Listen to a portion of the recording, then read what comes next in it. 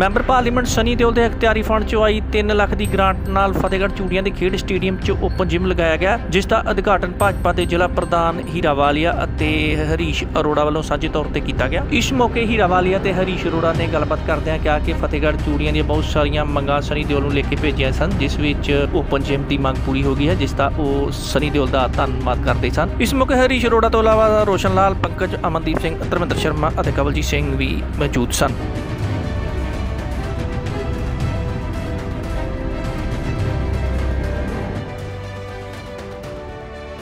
Punjab TV ਇਸ ਵੇਲੇ ਆਪਾਂ ਮੌਜੂਦ ਹਾਂ ਫਤਿਹਗੜ੍ਹ ਚੂੜੀਆਂ ਦੇ ਖੇਡ ਸਟੇਡੀਅਮ ਵਿਖੇ, ਜਿੱਥੇ ਸੈਂਟਰ ਸਰਕਾਰ ਵੱਲੋਂ ਭੇਜੀ ਗਈ ਗ੍ਰਾਂਟ ਦੇ ਨਾਲ ਖੇਡ ਦੇ ਲਈ, ਬੱਚਿਆਂ ਦੇ ਖੇਡ ਦੇ ਲਈ ਜਿਮ ਦਾ ਸਮਾਨ ਲਗਾਇਆ ਗਿਆ। ਬੀਜੇਪੀ ਦੇ ਆਗੂ ਇੱਥੇ ਪਹੁੰਚੇ ਆ, ਜਿਨ੍ਹਾਂ ਵੱਲੋਂ ਇੱਥੇ ਜਿਹੜੇ ਜਿਮ ਦਾ ਮਸ਼ੀਨਾਂ ਆ, ਉਹਨਾਂ ਨੂੰ ਇੱਥੇ ਲਗਵਾਇਆ ਗਿਆ ਤਾਂ ਜੋ ਇੱਥੇ ਜਿਹੜੇ ਨੌਜਵਾਨ ਆ, ਕਸਰਤ ਕਰ ਸਕਣ। ਗੱਲਬਾਤ ਕਰਦੇ ਆ ਬੀਜੇਪੀ ਦੇ ਆਗੂਆਂ ਨਾਲ। ਇਹ ਐਮਪੀ ਲੈਂਡ ਫੰਡ ਦੇ ਵਿੱਚੋਂ ਲੋਕ ਸਭਾ ਗੁਰਦਾਸਪੁਰ, ਜਿਹੜਾ ਸਾਡਾ ਪੈਂਦਾ, ਉਹਦੀ ਵਿਧਾਨ ਸਭਾ ਹਲਕਾ ਫਤਿਹਗੜ੍ਹ ਚੂੜੀਆਂ ਦੇ ਵਿੱਚ।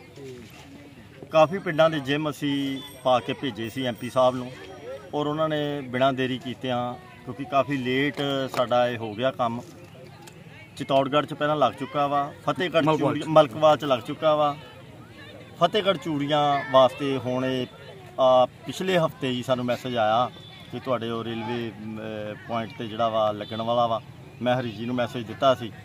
ਤੇ ਮੈਂ ਇੱਕ ਬੜੀ ਚੰਗੀ ਇਹ ਗੱਲ ਸਮਝਦਾ ਕਿ ਜਿਮ ਦਾ ਲੱਗਣਾ ਹਰ ਇਲਾਕੇ ਦੇ ਵਿੱਚ, ਇਹ ਅੱਜ ਦੇ ਸਮੇਂ ਦੀ ਮੁੱਖ ਜ਼ਰੂਰਤ ਆ।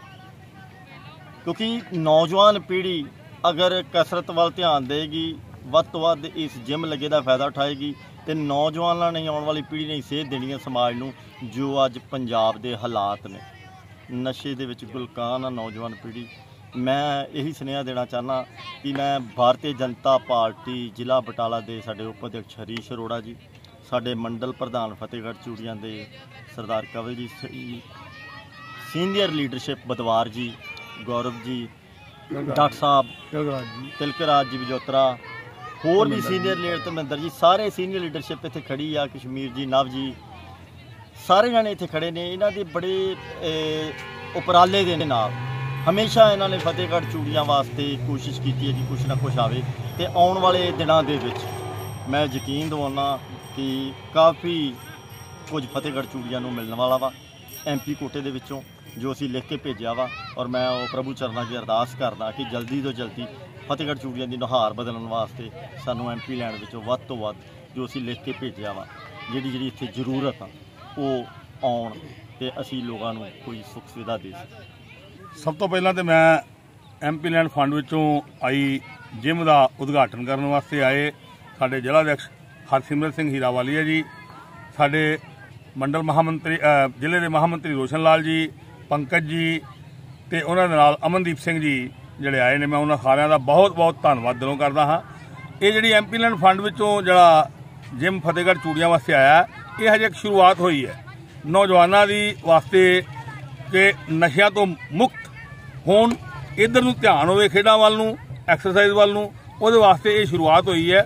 ਆਉਣ ਵਾਲੇ ਸਮੇਂ ਦੇ ਅੰਦਰ ਫਤਿਹਗੜ੍ਹ ਚੂੜੀਆਂ ਦੀ ਨੁਹਾਰ ਬਦਲਣ ਵਾਸਤੇ ਬਹੁਤ ਕੁਝ ਕੀਤਾ ਜਾ ਰਿਹਾ ਹੈ, ਬਹੁਤ ਕੁਝ ਕਰਨ ਵਾਸਤੇ ਉੱਪਰ ਭੇਜਿਆ ਮਾਲਕ ਅੱਗੇ ਇਹੀ ਅਰਦਾਸ ਹੈ ਕਿ ਛੇਤੀ ਤੋਂ ਛੇਤੀ ਉੱਤੋਂ ਪਾਸ ਹੋ ਕੇ ਆਵੇ ਤੇ ਅਸੀਂ ਫਤਿਹਗੜ੍ਹ ਚੂੜੀਆਂ ਨੂੰ ਕੁਝ ਨਾ ਕੁਝ ਵਧੀਆ ਦਈਏ ਤਾਂ ਕਿ ਫਤਿਹਗੜ੍ਹ ਚੂੜੀਆਂ ਦੇ ਲੋਕ ਇਸ ਗੱਲ ਨੂੰ ਮਹਿਸੂਸ ਕਰ ਸਕਣ ਕਿ ਸਾਡੇ ਐਮਪੀ ਸੰਨੀ ਦਿਓਲ ਜੀ ਨੇ ਫਤਿਹਗੜ੍ਹ ਚੂੜੀਆਂ ਵਾਸਤੇ ਵਿਸ਼ੇਸ਼ ਰੂਪ ਵਿੱਚ ਧਿਆਨ ਦਿੱਤਾ ਹੈ।